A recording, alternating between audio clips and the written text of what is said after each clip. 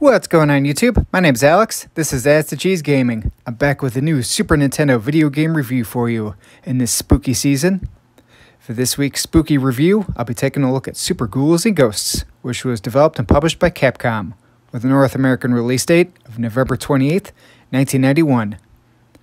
Now, this game was actually also released on a whole bunch of other systems, but the Super Nintendo port is an arcade port of the original Ghouls and Ghosts. This version would also later appear in the Wii U and Switch virtual libraries.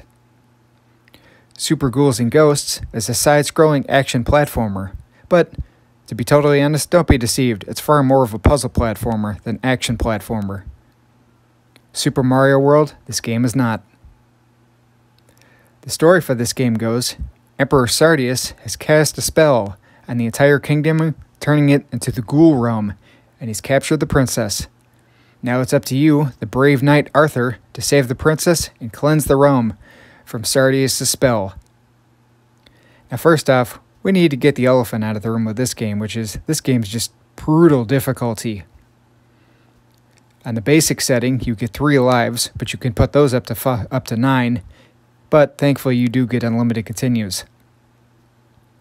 Next, since we were just talking about this game's difficulty, we'll touch on the controls. Right away, you'll notice that Arthur has this very strange stilted jump that takes a lot of getting used to.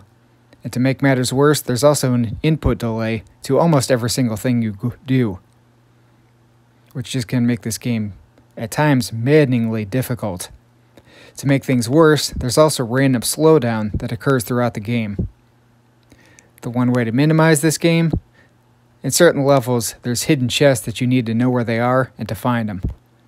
If you don't know where these are, you're in for a struggle. Now, let's touch on where Super Ghouls and Ghosts really shines, which is its music and sound effects. The music for this game was developed by Capcom, so it's absolutely fantastic. No complaints here.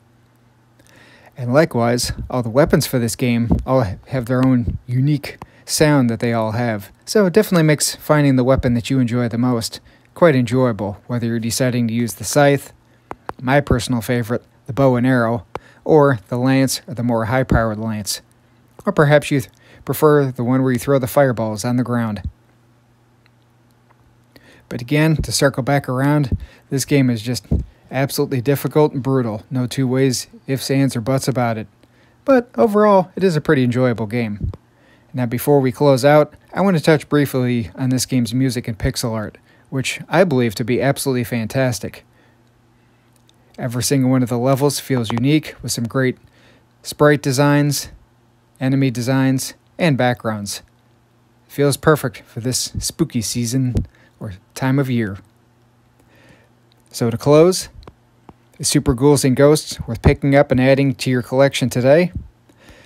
Well, with a price charting price $23.19, you certainly could do worse than this game, but just be forewarned, it's a real challenge, so if you're in for making yourself maybe be a bit of a glutton for punishment, then go ahead, add this one to collection, play away, and see how far you can get and how far you can test your mettle. Thanks for watching, everybody, and until next time.